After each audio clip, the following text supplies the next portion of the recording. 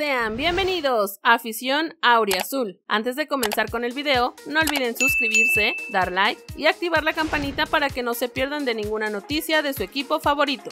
Donde ver en vivo el partido de semifinal Pumas contra Tigres, el partido de ida de las semifinales de la liguilla de la apertura 2023 de la Liga MX de Pumas contra Tigres se celebrará este jueves 7 de diciembre en el Estadio Olímpico Universitario. El conjunto de la UNAM finalizó en cuarto lugar de la tabla de certamen mexicano con 28 puntos, mientras que los regiomontanos en tercer puesto con 30 unidades. En los cuartos de final, Tigres dejó fuera al Puebla con global de 5 a 2 y Pumas eliminó a las Chivas con un 3 a 1 global. Cuando es el Pumas contra Tigres, el partido de ida de semifinales en la liquilla de la apertura 2023 de la Liga MX, tendrá este Pumas contra Tigres un partido que llama la atención por ser una serie con antecedentes que fueron en la final del fútbol mexicano. Mención aparte la diferencia del valor de la plantilla entre ambos clubes, ya que los regios casi doblan el valor de los capitalinos con un costo de 67.7 millones de dólares por los 37.7 millones de los de la UNAM. Fecha, jueves 7 de diciembre del 2023. Hora, el partido arrancará a las 9 pm tiempo del centro de México y a las 10 pm del ET, 7 pm del PT en los Estados Unidos. Donde ver, en Estados Unidos va por TUDN, tudn.com y la app de TUDN en México a través de Canal 5 y TUDN. Historia reciente entre la UNAM y la UAL. En su más reciente compromiso en la Apertura 2023 para la jornada 6, el cuadro de Pumas derrotó 2 a 1 a Tigres con goles de Gabriel El Toro Fernández y Juan Dineno. Por la visita no jugó André Pierguiñac. Esta serie cuenta con 7 antecedentes previos de liguilla, donde el cuadro de la UAL tiene ventaja con 4 ganadas y 3 perdidas ante los de la UNAM. En sus últimos 10 partidos, Tigres tiene saldo a favor con 5 triunfos y 4 empates y solamente una derrota, la de este mismo Apertura 2023. Afortunadamente para el técnico argentino Antonio Mohamed, su plantilla está prácticamente completa al no haber tenido ningún tipo de lesión contra el Guadalajara. Del mismo modo, no cuentan con sancionados, así que podrán salir con sus mejores armas para darlo todo contra los regios. Justamente esta semana en las redes sociales de Universidad Nacional se compartieron postales donde se aprecia al uruguayo Cristian Tabó, quien ya está practicando al ritmo de sus compañeros, por lo que podrá ser una opción. De este modo, el colombiano José Caicedo se mantiene como la única baja de los capitalinos, ya que apenas en noviembre se resintió de su lesión sufrida en el clásico capitalino. Si bien ya entrena con la pelota, no quieren arriesgarlo y se mantendrá fuera, tal como pasó en los cuartos de final. Y bueno, hemos llegado al final de las noticias de hoy. No olvides comentar ahí abajo qué te parecieron. Da like, suscríbete al canal y activa la campanita para así traerte siempre más y mejor información. Hasta la próxima.